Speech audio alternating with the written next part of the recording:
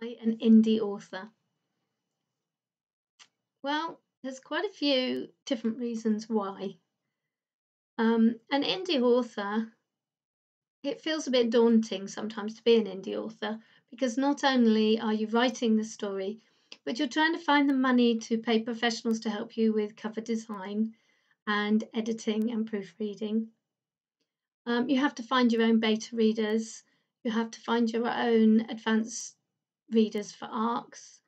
Um, and you have to be willing to either pay someone to do the formatting or format and publish your books yourself. There are so many decisions to make when it comes to publishing a book. You may or may not decide to buy your own ISBNs. So there's quite a bit of expense, upfront expense in becoming in being an indie author. You then, once the book is published, or leading up to it being published, you have to start marketing and promoting, which is pretty tough. It's it's the tough part for me. But I'd still rather be indie than traditionally published, and I'll tell you why. I did actually start my author career um, as a traditionally published author of um, non-fiction books, ideas, practical ideas for teachers in the early years in the UK. And for 15 years, I wrote articles for a magazine on this same subject. And it was reasonably lucrative, but I really wanted to be a fiction author. And I thought about the traditional publishing route.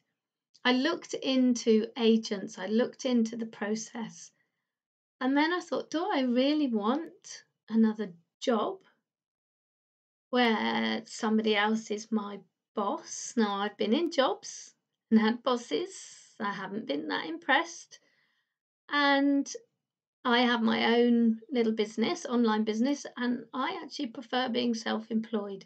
So that was one big reason for becoming indie, is to be self-employed, not to have someone telling you that you have to change uh, big parts of your story, not not because it makes it a better story, but because the publishers think it fits with their style of books that they like to sell and it'll make money for them. And that's a big point too. When you traditionally publish, the percentage you get of your book price is tiny. Um, I used to get between, I think, 5 and 8%. Being indie, I can get 80%.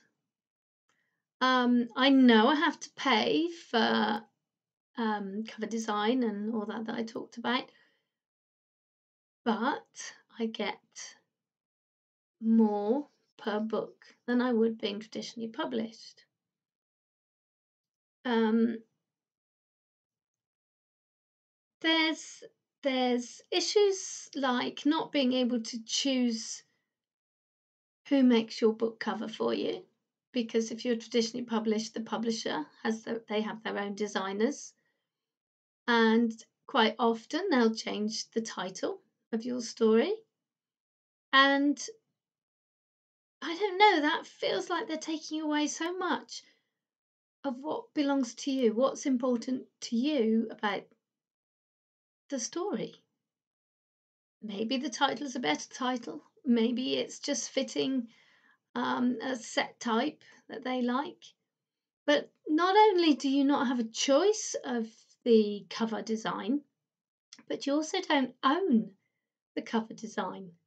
Now, I own my cover designs. And if I wanted to make merchandise with the cover or part of the cover design on it, I can. But as a traditionally published author, you can't. And this is where the marketing side comes in. Now, people think, oh, it's fantastic, go traditionally published and you don't have to worry about marketing your book. Well, that's not true anymore. And a lot of publishers or even agents won't take you on unless you've got a huge social media following and they've seen that you are capable of doing promotion and marketing yourself they will do the initial little push. And yes, your book will be on a list that's sent out to bookshops. But it's up to you to find the readers, it's up to you to do the same work that an indie does. So that's trying to get to book fairs, that's perhaps going and doing talks in schools or in libraries or linking with a book club. It's doing videos and um, promos on different sites. Things like uh, BookBub, for example. It's it's the same whether you're traditionally published or indie published. You still need to do all that marketing. But for indie, it's perhaps a little easier if you can merchandise, if you can offer your readers something for free, even if it's just a mug with your main character on, because you own the rights to your book. Every part of your book, you can use the cover. Uh, you can't choose if you're in if you're traditionally published. You can't choose when your book is published. As an indie author, you can publish whenever and as often as you like. A slight drawback is that someone like me, I'm used to working to deadlines, quite like working to deadlines. Making your own deadlines is a little bit trickier, but I'm getting used to it. And I do have goals in mind for when I publish my next book, when I want to publish my next book. And it will quite often give me uh, the incentive to get on with it when I know that that date is coming closer. So you have a lot more freedom, you have a lot more choice as an indie author.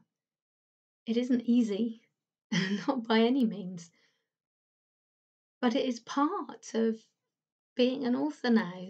Um, it's part of the process. And uh, well, I like the fact that being an indie, I can choose who I pay to do the work that needs doing on my manuscripts and on my story.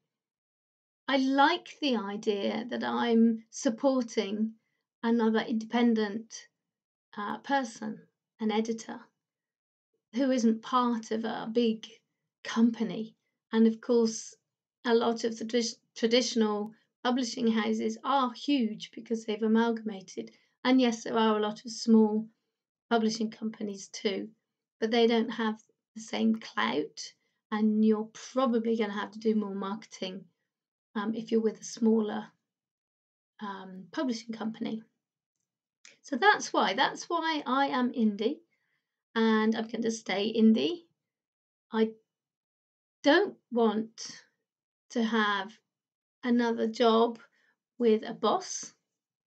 I do like the freedom of choice. I like the control of what's happening to my physical book once it's been made. Um, I don't know about you, and I'm and I'm proud about. I'm proud that I'm an indie author. I'm proud to be part of this growing community. If you have any questions, um, please leave a comment and uh, I'll try and reply as soon as possible.